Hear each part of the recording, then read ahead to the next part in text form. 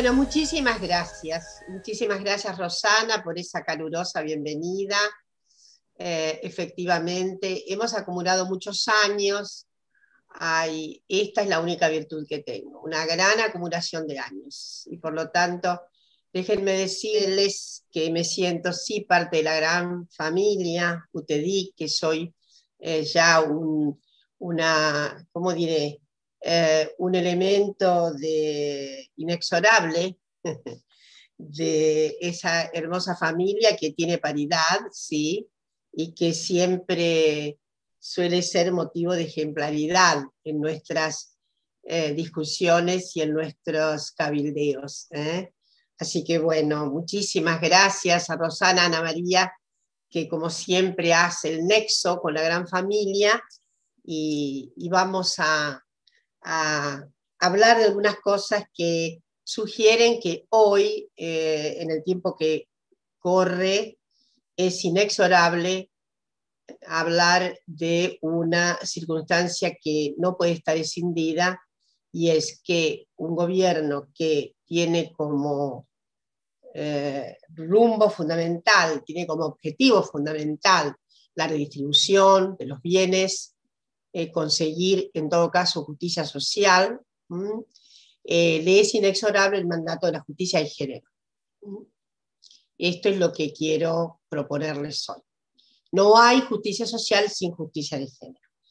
Y déjenme rememorar eh, que en el pasado, inclusive un pasado que todavía tiene muchísimo que ver con el desempeño del siglo XX, el advenimiento del estado de bienestar social, ustedes saben que fue un ciclo bastante largo, cuyo momento de clímax se puede encontrar después de terminada la Segunda Guerra Mundial, en donde hubo que reconstruir muchísimas sociedades eh, beligerantes en el pasado y sobre todo reconstruir los lazos absolutamente disueltos entre muy diversas sociedades europeas y planetarias. Es una eh, una, marca de ese pasado eh, en cuanto a las salidas fundamentales que hubo societales, fueron, eh, estoy segura que todas, todos, todes conocen muy bien, se empinó unos principios, se empinaron unos principios de economía en general keynesianas, es decir, eh, perspectivas keynesianas para superar estas perspectivas keynesianas para superar la crisis traída por la guerra ya habían sido puestas en ejecución de manera muy notable con la gran crisis del 29-30. Uno puede decir, la crisis 29-30, que es un derrumbe, colapsa la economía capitalista, y, eh, en fin, pero luego viene el vertedero tremendo de la Segunda Guerra, de modo que hay, sí, un cierto eh, clima de aceptación fundamental de tesis keynesianas, neo-keynesianas, de políticas anticíclicas, etcétera. No quiero aburrirlos mucho con estos elementos que tienen que ver sobre todo con la economía política y demás, pero yo estoy segura de que reverbera fuertemente un compromiso de, eh, en fin, reconstruir sociedades con una política redistributiva eh, a propósito de la finalización de la Segunda Guerra Mundial y el descalabro producido en todas las sociedades, todas que habían estado en situación beligerante. Y hay que pensar desde ya en que en esta recomposición eh, redistributiva, el Estado tiene un papel fundamental. ¿eh? Allí hay un papel fundamental de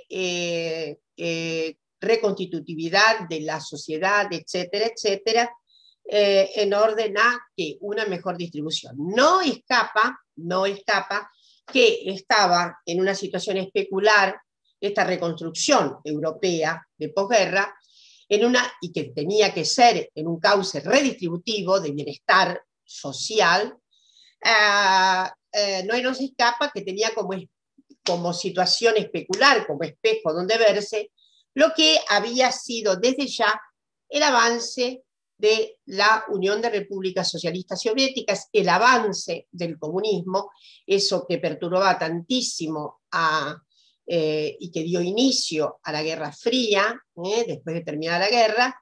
Entonces hay algo que debe ser visto como contraste, cómo se podía llevar a una situación que desestimulara una radicalidad social después de terminada la Segunda Guerra, en contraste con, para oponerse desde luego al avance del comunismo, que provenía, era un avance, por otra parte, que ustedes saben perfectamente, se ocuparon casi todos los países de la región este, ¿eh? y podríamos significar como un dato fundamental en, lo, en la eh, gestión definitiva de la llamada Guerra Fría, la posibilidad de que la Unión Soviética se extendiera por los países mediterráneos, sobre todo eh, eh, Turquía, Grecia y Italia. España estaba bajo el dominio autoritario de Franco, etc. Había ahí menos posibilidades de que hubiera un cauce de eh, un vertedero de radicalidad social, disculpen esta digresión, pero ese es el elemento también que le da constitutividad al enmarcamiento de los llamados estados de bienestar social, que son obviamente esas circunstancias paradigmáticas redistributivas en que en general nuestro país, debo decir, el estado de bienestar social viene de la mano de la emergencia de una nueva nota política de masas como es el peronismo. Entonces vamos a vivir, sí, unos cuantos años de redistribución. Eh, tanto es así que bajo esa, ese paraguas redistributivo fundamental que vive nuestra sociedad, la división eh, distributiva entre capital y trabajo era del 50% tenemos una nota altísima entonces, tal vez única en América Latina, de lo que sería redistribución del producto. ¿eh? Y a esto, en general, en nuestra aquilatada historia política con eh, el peronismo en el poder, a esto lo llamamos el estado de justicia social más pleno, porque efectivamente esa distribución capital y trabajo en muy pocos países se dio, muy pocos países. Eh, sí en la cuenca nórdica, en general, bajo dominios socialdemócratas en la mayoría de los casos. En fin, no dejo de pensar también en el cierto auge que tuvo el laborismo inglés, etcétera, etcétera. Pero, pero, en aquel momento, eh, los feminismos en el mundo estaban en un cierto, ¿cómo diré?, en un cierto repliegue. Eh, en general, ¿por qué?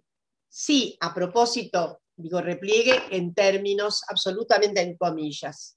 En general, en casi todos los países de Europa y también de América Latina, en poco tiempo se conquistó uno de los derechos fundamentales por los que bregaban las feministas. ¿Cuál era? El derecho a sufragar. Entonces, terminada la Segunda Guerra, en general, algunos países ya habían conquistado el derecho, las mujeres habían conquistado el sufragio femenino, pero quiero decirles que hay un precipitado de conquistas del derecho al sufragio que se da terminada la guerra en nuestro país, 1947. Y eh, esto es lo que quiero decir que encuentra ese nuevo derecho, eh, esto es una conjetura, da un cierto eh, un cierto tono de estabilidad replegada a las militancias feministas. Tanto es así que eh, se constata en todo y cualquier lugar, por diferentes razones, pero en general digo, una reambientación de bienestar social en la mayoría de los países, una conquista, la conquista de los derechos políticos en la mayoría de los países, ¿eh? y entonces el clima general ¿eh? de crecimiento en torno del bienestar seguramente son eh, los elementos que, eh, con los que conjeturamos la posibilidad de que haya habido una cierta estabilidad relativamente menguada de esfuerzo, una estabilidad, no quiero decir que haya desaparecido, cierta estabilidad, cierto eh, tono de, que suena como repliegue. La segunda cosa que quiero decir entonces es que eh, efectivamente los feminismos van a renacer de manera muy, muy, muy, muy de vorágine en la segunda mitad de los 60, cuando en el mundo entero ya se constataba un cierto repliegue del ímpetu del estado ¿eh? de bienestar social. Y aparecían ya fuertemente, años 60, 70, lo que podríamos decir son los cauces portentosos de los llamados neoliberalismos ¿eh? en todo el planeta y de una cierta construcción de sentidos antagónicos a las políticas anticíclicas, neokeynesianas, pongamos, redistributivas, etcétera, etcétera. Y además es en ese momento en donde de crisis internacional severa. Gran crisis porque la propia Guerra Fría ha significado una estridencia bélica notable. Guerra fría en términos, a veces la guerra se calentaba bastante, al punto de que había eh, la Guerra Fría en América Latina que determinaba golpes militares. Voy a recordar 1954, el golpe que derroca a Jacobo Arbenz en Guatemala, que era una expresión notable del estado de bienestar social en ese país. Era eso, Arbenz. Pero estaba eh, significando una amenaza colosal de impronta procomunista, nada menos que en el área del Caribe. Ahí debo decir, la Guerra Fría muda un poco de escenario. El escenario hasta los 50 había sido sobre todo la cuenca mediterránea.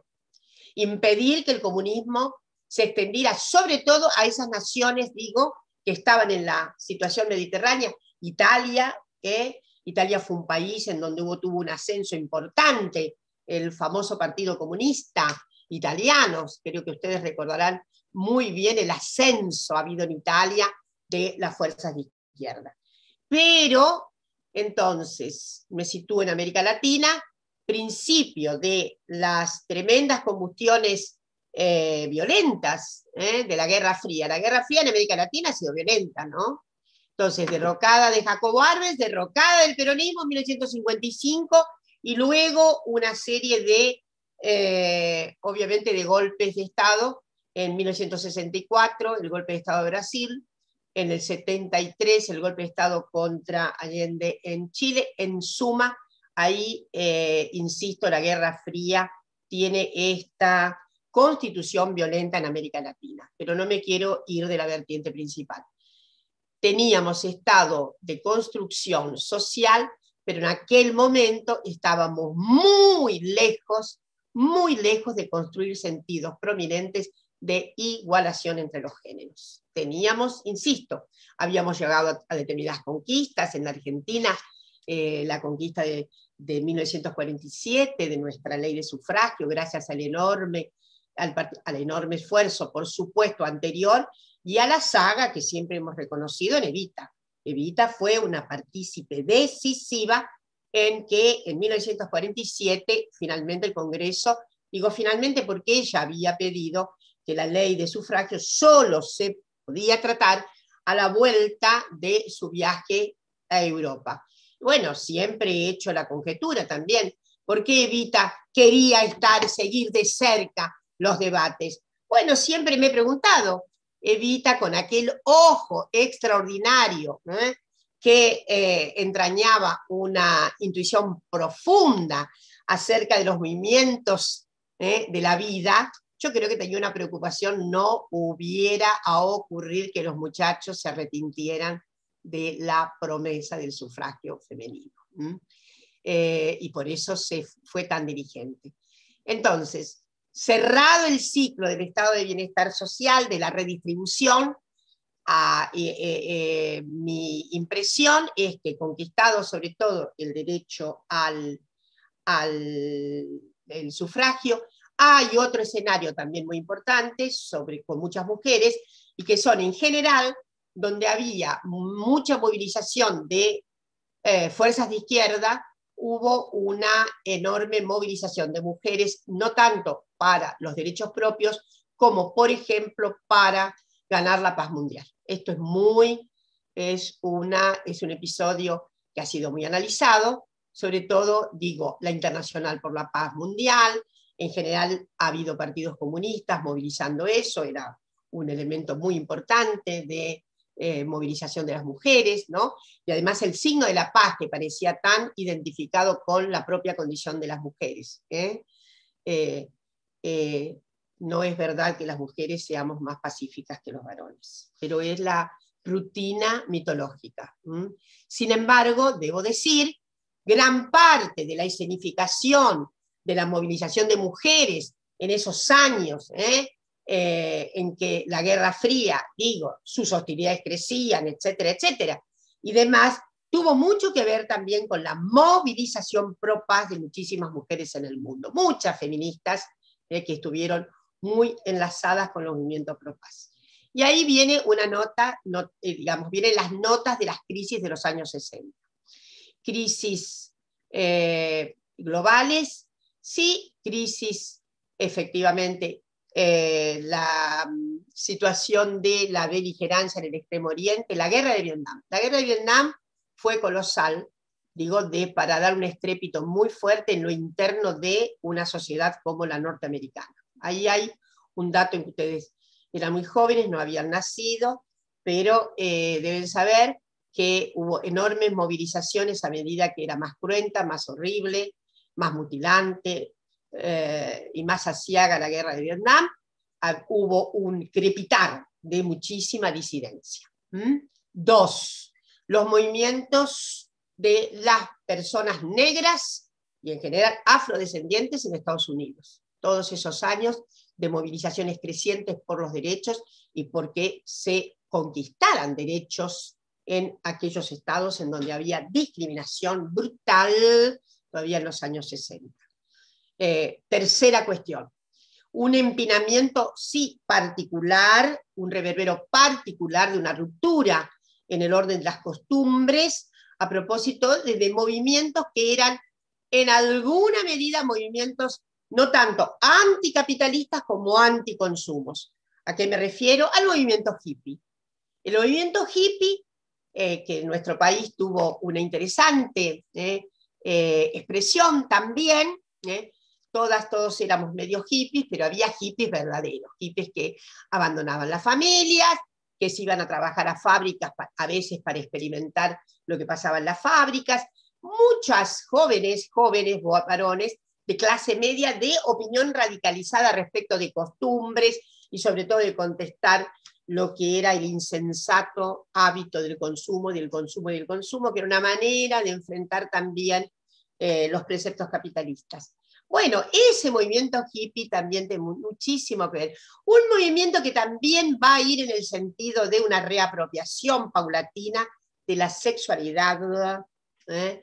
de la sexualidad no ortodoxa. Esto también va planteándose. Voy a recordar que a mediados de los 60 está el gran movimiento, digo, no era un movimiento tan extenso, pero su estridencia fue muy grande, Stonewall en Estados Unidos, o sea que ya una manifestación.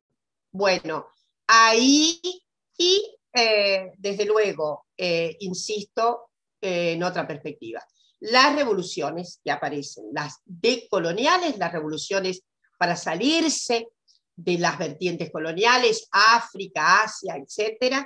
La revolución cubana, que fue muy estridente en toda la, región, ¿eh? En, tanto en Estados Unidos como entre nosotros, en América Latina y el Caribe, todo ese combustible le dio fuerza extraordinaria a un reavivamiento de quién? De los feminismos. Y ahí ahí, a partir de ahí, se conjugó un nuevo sentido orientador de la justicia en la sociedad. Eh, al principio de manera más trémula, pero hasta los 70 hubo una construcción extraordinaria de epistemología, de principios políticos y de sacudones. Eh, la idea de una, eh, una reconquista del cuerpo una eh, que tenía una, una especie de dogmática fundamental, ¿en qué? En la oposición al sistema patriarcal. Esa es la, la dogmática central que aparece. Y el reclamo cada vez más grande de que podía haber, haber, se podía registrar alguna cierta justicia redistributiva, pero esa justicia redistributiva era ciega a la justicia elemental de género. Las mujeres estaban relegadas, segregadas, ganaban mucho menos que los varones Y para colmo, en los años todavía 60 y 70, concretamente en nuestro país, en esos años, mm, que había mayor complejidad y mayor eh, eh, participación de las mujeres en el mercado laboral, mucho más eh, matizado en funciones, labores y actividades, sin embargo, yo les voy a decir, la tasa de actividad que presentaban en, en Argentina las mujeres no pasaba del 35-37%. Es cierto que había subregistro, mucho subregistro. ¿Qué quiero decir? Que por supuesto no estaba muy presente en la realización de los censos y la estadística, lo que efectivamente podían hacer las mujeres y que no era visible y que no podía ser estimado estadísticamente. ¿Mm?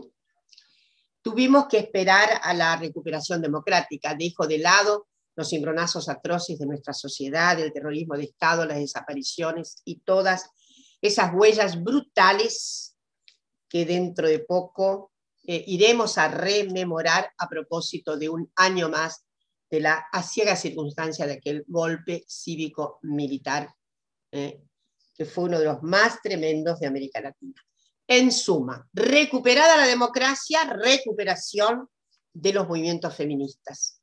Y ahí quiero decir algo, recuperación muy, eh, de todas maneras, muy sitiada en algunos lugares, en algunas localidades de importancia. ¿eh?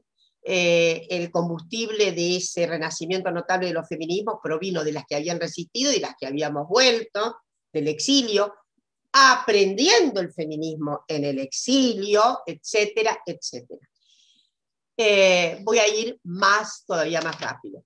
Sí, construimos una serie de derechos notables. Desde la recuperación de la democracia, no cabe duda que las mujeres han incrementado los derechos. ¿Qué duda cabe? No solamente las mujeres, las personas situadas en el arco de la diversidad también tienen derechos por lo menos formales en la Argentina como pocos países en el mundo. Uruguay, eh, los países europeos en este momento con mayor reconocimiento eh, de eh, lo que significa la identidad diversa sexo social. Todo esto lo hemos logrado. Sin embargo, y, hemos andado algunos trancos atrás, yo no puedo recordar la época de los 90, ¿no? Eh, nuevo imperativo ordenador neoliberal ¿eh? de trastabilleo tremendo para las mujeres en su condición de trabajadoras, la tasa de desempleo mucho mayor que los varones, la situación de eh, como diré, de deterioro de las familias, la pérdida de trabajo de los varones, que significó que las mujeres fueran a esto es importantísimo, a mediados de los 90, a comodiere a eh, querer incorporarse al mercado laboral. Eso también significaba tasas altísimas de desocupación, pero significó un cambio notable.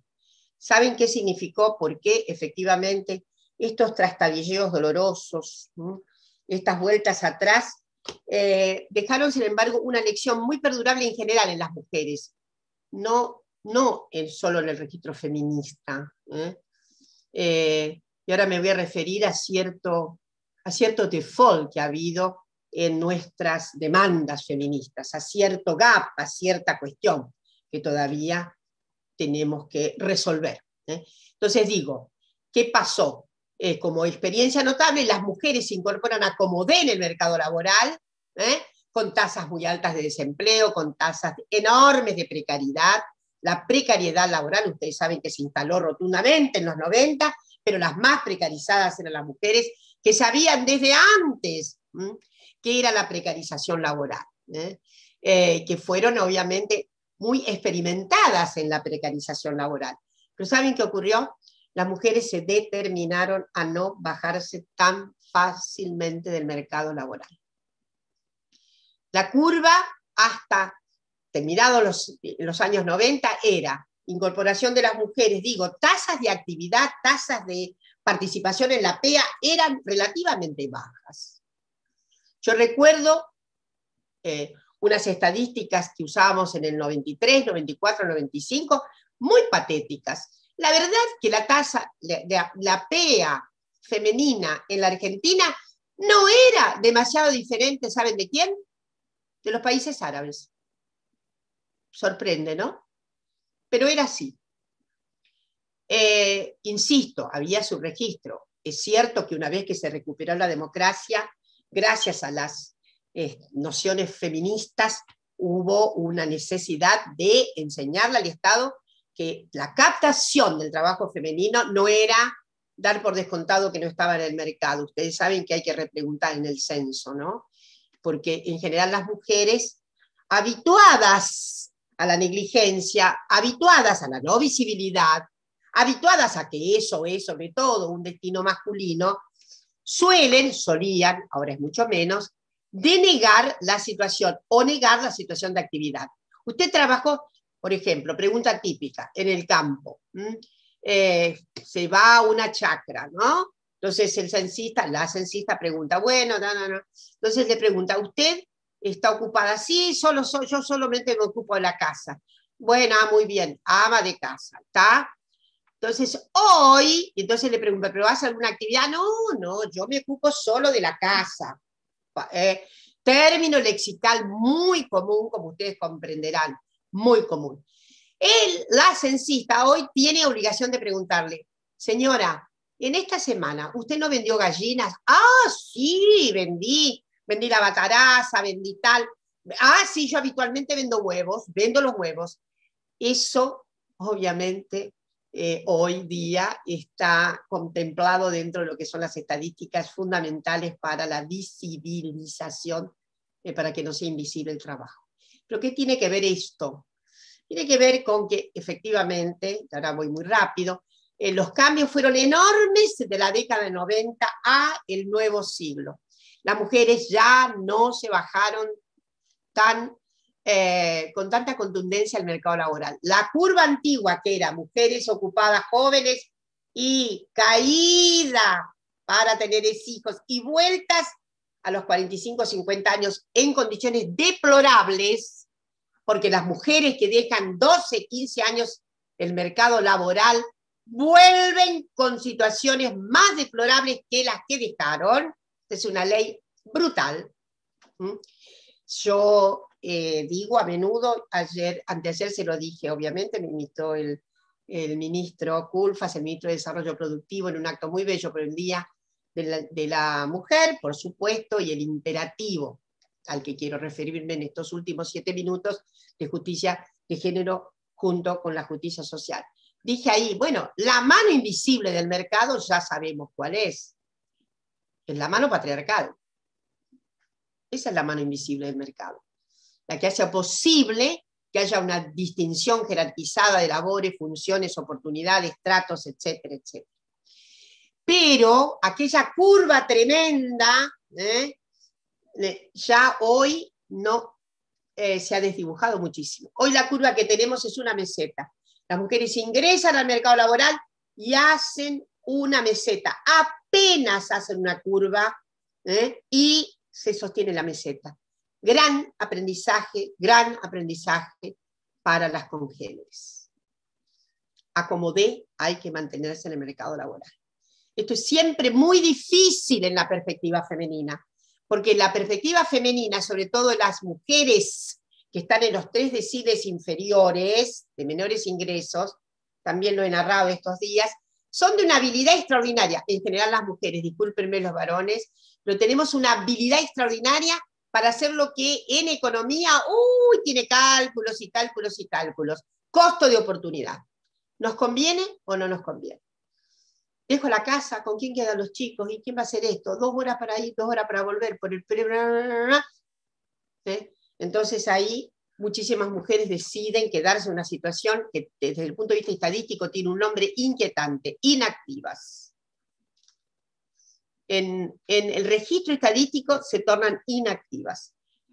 En fin, estamos en un cambio de época notable. Como nunca se ha condensado el sentido de que de vuelta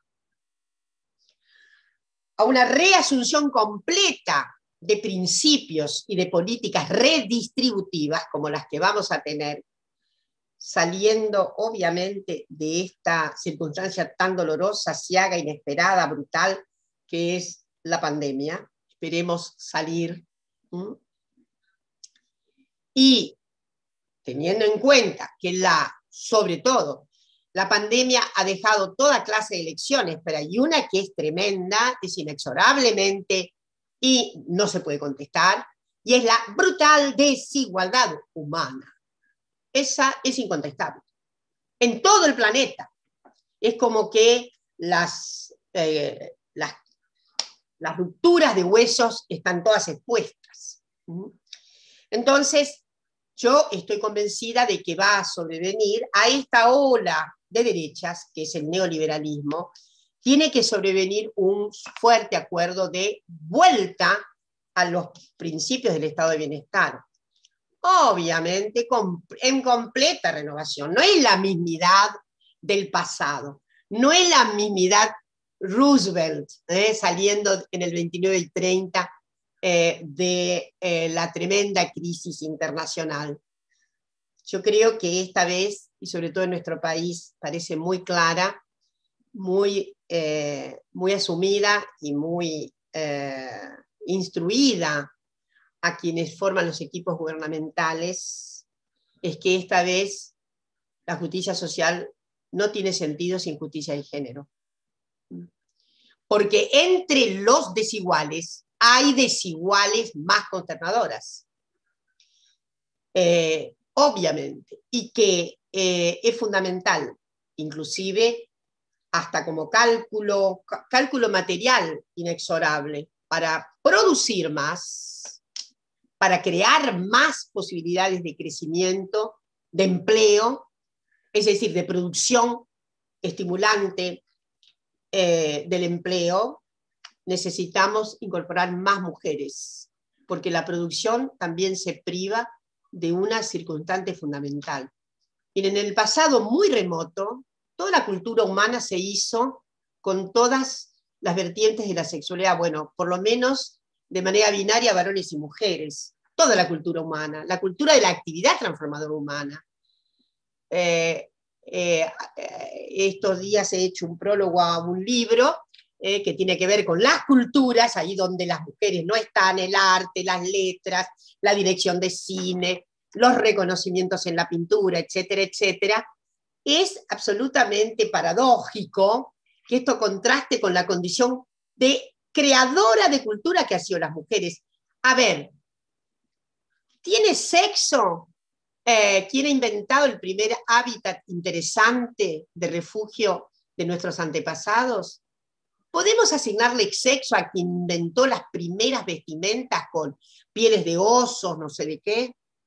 ¿Podríamos distinguir si fue un varón o una mujer el que tuvo la extraordinaria eh, habilidad de comenzar con la narrativa oral que transmitía experiencias del pasado y permitía prevenciones para el futuro? ¿Hay alguien que puede decirme que fueron los muchachos? ¿Eh?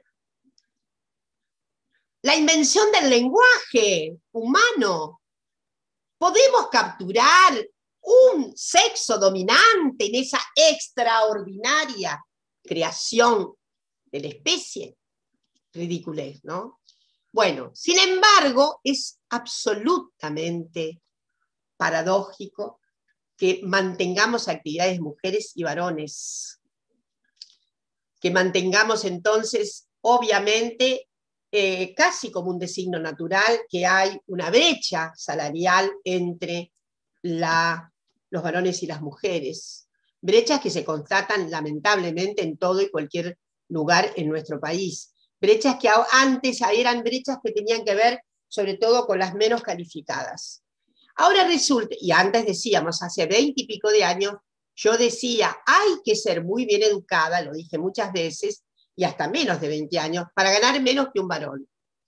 Bueno, quiero decirles que felizmente la mayor calificación de las mujeres ha estado significando que la brecha ahí disminuye un poco, 15% pero en general la brecha en la Argentina, en un análisis que hizo la Universidad Católica, el Observatorio de la Universidad Católica, dice que en general, claro que lo hizo en un momento muy, muy particular, agosto, septiembre del año tremendo que dejamos atrás. era del 30.3%. Y esto es una injusticia brutal. Esto es una injusticia enorme. Es una injusticia que efectivamente, y ahí sí prometí decir que es muy probable que las feministas, con todos los fervores de nuestras luchas, las intensidades de nuestras luchas, las audacias de nuestras luchas, los esfuerzos de nuestras luchas, ¿eh? Eh, hemos sobre todo tenido en cuenta una serie de derechos fundamentales para ganar. Pero me encuentro que hemos sido un poco eh, menos dispuestas a la gran lucha por la igualación en el mercado laboral. Es notable. Eh, desde luego, vamos a hacer todos los paros y demás en contra de todas las violencias, que es, un, es una circunstancia brutal, insoportable. Pero debemos pensar que es muy violento el arquetipo dominante en el mercado laboral. La brecha salarial, las actividades en las que no están participando las mujeres, las no oportunidades que tienen las mujeres y demás. Yo estoy absolutamente convencida, lo dije ayer, lo dije anteayer, estos días ustedes saben que uno toma un latiguillo, se repita hasta que se harta de sí misma y no lo dice más. Yo estoy segura que las mujeres tienen competencia para desenvolverse en todas las actividades, todas las que se les ocurra. Discúlpenme los varones, me parece que lo recíproco no es tan verdadero. Los varones tienen menos posibilidades de desempeñarse en algunas funciones. Entonces, en este cambio de época que tenemos, estoy absolutamente segura de que es fundamental en todos los organismos del Estado, sobre todo los organismos que gravitan en, materia de lo que serían ¿qué? Las, los bienes materiales, aquellas funciones del Estado que son fundamentales para pensar en bienestar material, la distribución eh, necesaria, y estoy pensando, obviamente, como ustedes piensan, en dos o tres ministerios que son muy gravitantes en esto. La economía, por dónde está el motor, por dónde está eh, toda la iniciativa estratégica en materia de eh, retomar la actividad económica y de darle un sentido fundamental a la transformación de nuestra economía. Pero, desde luego, hemos ganado muchísimo en este cambio de época, tenemos ministerios especializados eh, y tenemos algo, tenemos un Ministerio de Mujeres, Géneros y Diversidad en la Nación, tenemos el Ministerio casi equiparable de Mujeres, Políticas de Género y Diversidad en la provincia de Buenos Aires. Es, un, es una expresión de, eh, de, lo que estamos consiguiendo en, esta, en, nuestra, en este nuevo cauce de recuperación de los sentidos más importantes para hacer la justicia humana, ¿eh? para hacer más digna la distribución y la condición humana, para que podamos salirnos de los atolladeros brutales e ignominiosos de la exclusión. Eh, pero estoy segurísima de que hay que pensarlo con una perspectiva de género a la mañana, a la tarde, a la noche y al otro día. Esta vez tenemos un presupuesto con perspectiva de género, que ha ido, que es muy audacioso. Tenemos al mismo tiempo una transversalidad, obligada inclusive por un decreto. Hay transversalidad, hay un gabinete de género transversal. Son medidas superestructurales muy importantes. Y estoy absolutamente segura de que vamos a encarar medidas no, de, la estructura a la condición de posibilidad en toda y cualquier eh, experiencia productiva eh, por delante. Pero bueno, eh, este es el horizonte que tenemos. Nuestro reclamo fundamental hoy es que no se puede generar una nueva posibilidad de estado de bienestar sin que se signifique fuertemente que si no hay una reacomodación que defina la finalización de las jerarquías de género, las mejores perspectivas que tienen en general las comunidades de varones en toda y cualquier actividad, no podremos tener verdadera justicia. En fin, nuestro desafío es cómo vamos a hacerle desde todos, obviamente, los actores societales, la organización sindical, las organizaciones de trabajadoras y trabajadores, tienen un papel fundamental en este momento. Porque sus demandas son una contribución necesaria a andar por los caminos de la redistribución, a andar por los caminos de la justicia social. Por lo tanto, debe ser también un empeño de las organizaciones sindicales que lo que provenga de una ampliación del producto sea distribuido igualmente entre varones y mujeres. Este es un empeño que tiene que tener el Estado, pero que tienen que tener también los actores gravitantes de la sociedad. En fin, no he mencionado el significado de el, digamos, del convenio Ley 190, que entraña una perspectiva fundamental en los nuevos tratos que requiere nuestra justicia social. Los nuevos tratos significan eliminar todas las fuentes sustantivas de violencia eh, en todo y cualquier lugar de desempeño económico eh, eh, que tengamos las mujeres. Es un gran coadyuvante a la perspectiva de la justicia social con justicia de género, porque no me escapa que gran parte de los problemas que tienen las mujeres para persistir en el mercado laboral son las formas de hostilidad manifiesta y no tanto en los lugares de trabajo. De modo que eh, este convenio ley es también una contribución notable para que persistamos en el camino de conseguir una auténtica redistribución de los bienes, de los productos y todo lo que genera nuestra economía, una redistribución paritaria entre la membresía femenina, la membresía masculina y desde luego el arco enorme de las personas que se ubican en la diversidad sexo-social. Hacia allá vamos y este va a ser nuestro empeño en estos años que eh, tenemos por delante de desafíos y de también necesidad de volver a replantearnos para qué hemos venido a gobernar. Bueno, muchas gracias, las mías, a, Carlos Boyuri, a todo ese equipo notable, paritario y tan, de tanta convicción en estos principios. Hasta todo momento y muchísimas gracias.